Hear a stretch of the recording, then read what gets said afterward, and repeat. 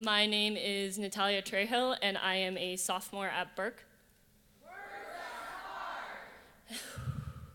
and this is my poem, Eight Guidelines to Unghost Me. One, don't approach me. I see you side eyeing me across the rink, new friend dangling off your arm. Let me make this simpler.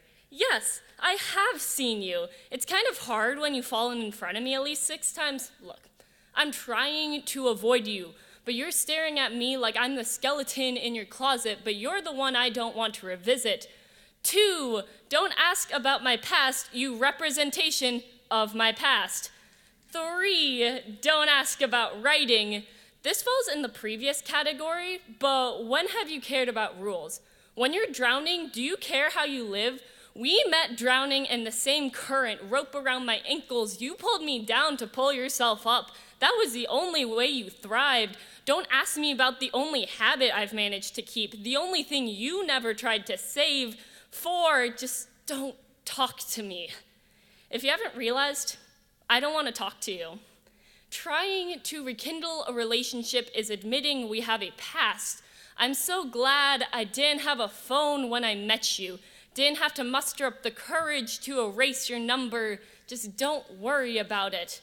Now I won't text you in the middle of the night with terrible metaphors about how my life is becoming a coral reef. Five, don't ask why I found you again.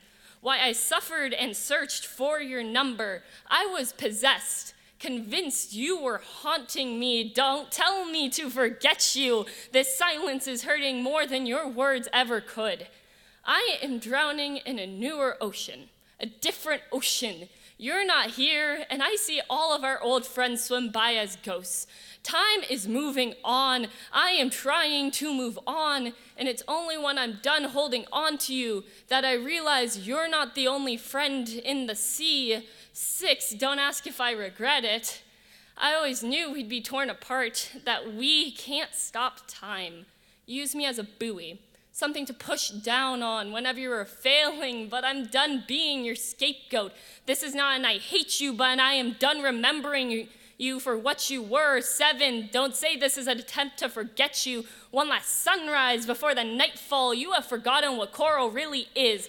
Life growing on skeletons. So when I say that my life is becoming a coral reef, it's not that you are dead to me, but I can't erase you from my memory, but I can am moving on. And number eight, the last thing I don't want you to do stop treating me like a stranger.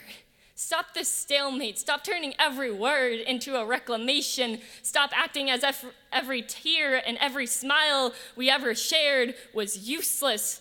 Stop being afraid to talk to me because all I've ever wanted to tell you is thank you.